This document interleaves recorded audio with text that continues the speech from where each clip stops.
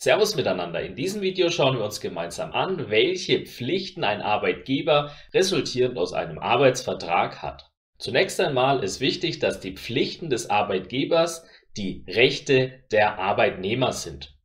Geregelt ist der Arbeitsvertrag, das ist eine Form des Dienstvertrages im bürgerlichen Gesetzbuch, Paragraph 611. Wir schauen nun auf vier entsprechende Pflichten des Arbeitgebers. Das ist die Beschäftigung, das ist die Fürsorge, das Zeugnis und die Vergütung. Schauen wir zunächst auf die erste Pflicht des Arbeitgebers, nämlich die Beschäftigung. Wichtig ist hier also, dass der Arbeitnehmer nicht nur die Pflicht hat zu arbeiten, sondern er hat auch das Recht, beschäftigt zu werden, und zwar entsprechend der vertraglichen Vereinbarungen des Arbeitsvertrages. Und das natürlich auch, wenn er schon eine Kündigung ausgesprochen hat. Wichtig ist dann hier noch das Recht auf Teilzeitarbeit. Das hat man, wenn man bereits sechs Monate in einem Unternehmen arbeitet und dieses Unternehmen, der Betrieb, mehr als 15 Arbeitnehmer hat. Auszubildende zählen in diese 15 Arbeitnehmer nicht mit rein. Dann kommen wir zum zweiten Pflichtbereich des Arbeitgebers, nämlich die Fürsorge für den Arbeitnehmer. Er muss also zum Beispiel die entsprechenden Unfallverhütungsvorschriften einhalten bzw. dafür sorgen, dass diese am Arbeitsplatz eingehalten werden können. Generell muss er die Gesundheit des Arbeitnehmers im Blick haben und er muss auch den Arbeitnehmer zur Sozialversicherung melden. Ganz wichtig und natürlich auch was sehr Schönes für den Arbeitnehmer ist natürlich, dass der Arbeitgeber Erholungsurlaub entsprechend gewähren muss. Darüber hinaus müssen natürlich alle Arbeitsgesetze, die gelten, entsprechend eingehalten werden. Wie gesagt, dies alles dient der Fürsorge des Arbeitgebers dann für den Arbeitnehmer eben entsprechend. Und das liegt natürlich aber auch im Sinne des Arbeitgebers. Der Arbeitgeber hat außerdem ja die Zeugnispflicht.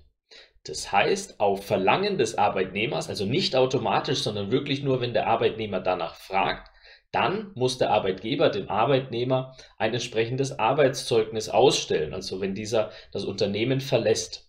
Und hier kann man dann noch unterscheiden das einfache und das qualifizierte Zeugnis. Das einfache Zeugnis beschreibt lediglich die Art und die Dauer der Beschäftigung. Also welche Aufgaben hat man übernommen und wie lange war man im Unternehmen. Das qualifizierte Zeugnis dagegen beschreibt auch noch, wie sich die Person geführt hat und wie die Leistung der Person war. Wichtig ist eben, dass dieses Zeugnis, es ist also Pflicht, dass der Arbeitgeber es ausstellt, aber es ist nur dann Pflicht, wenn der Arbeitnehmer es verlangt. Also wenn ihr einen Arbeitgeber verlasst, dann fordert doch, wenn es euch weiterhilft, entsprechend ein solches einfaches oder qualifiziertes Zeugnis an. Die vierte Pflicht, die wir uns jetzt anschauen, das ist die Pflicht des Arbeitgebers, den Arbeitnehmer zu vergüten. Und zwar entsprechend wie der ja, Vergütungsbetrag quasi im Arbeitsvertrag vorgesehen ist. Ist hier kein äh, Betrag festgelegt, dann geht es eben entsprechend dem Tariflohn. Ist nichts anderes festgelegt, dann bekommt man das Gehalt entsprechend nach Vollbringung der Leistung. Bei einem Monatslohn also zum Beispiel arbeitet man den ganzen April und bekommt dann am 1. Mai, also nachträglich entsprechend das Gehalt überwiesen, also spätestens bis 24 Uhr am 1. Mai. Ist dies nicht der Fall, dann kann man als Arbeitnehmer sogar Verzugszinsen vom Arbeitgeber entsprechend verlangen. Wie sieht das Ganze jetzt bei Arbeitsunfähigkeit, also bei Krankheit entsprechend aus? Wichtig ist hier, dass wir von einer unverschuldeten Krankheit sprechen. Also man hat sich nicht quasi absichtlich krank gemacht. Wenn man bei einem Unternehmen anfängt, hat man hier zunächst mal vier Wochen Wartezeit, bis man dann überhaupt, wenn man krank ist, trotzdem Arbeitsentgelt bekommen kann. Wichtig ist, dass der Arbeitgeber verpflichtet ist, entsprechend, wenn eine Arbeitsunfähigkeit vorliegt, bis zu sechs Wochen, also wenn die Arbeitsunfähigkeit so lange eben dauert und nachgewiesen ist, eben bis zu diesen sechs Wochen das Arbeitsentgelt zu 100 Prozent dem Arbeitnehmer weiter zu bezahlen. Wichtig ist, dass dies für eine unverschuldete Krankheit gilt. Es gibt jetzt zum Beispiel auch noch sogenannte gefährliche Sportarten, zum Beispiel sowas wie Wingsuit-Fliegen. Und hier geht man einfach so ein extremes Risiko ein, dass man sagt, der Arbeitgeber muss hier dann nicht entsprechend leisten, weil das Risiko so hoch ist. Und das gilt nicht nur bei gefährlichen Sportarten, sondern auch, wenn man halt einfach sich hier extrem ja überschätzt bzw. ein Risiko eingeht bei anderen Sportarten, die einfach die eigenen Fähigkeiten übersteigen.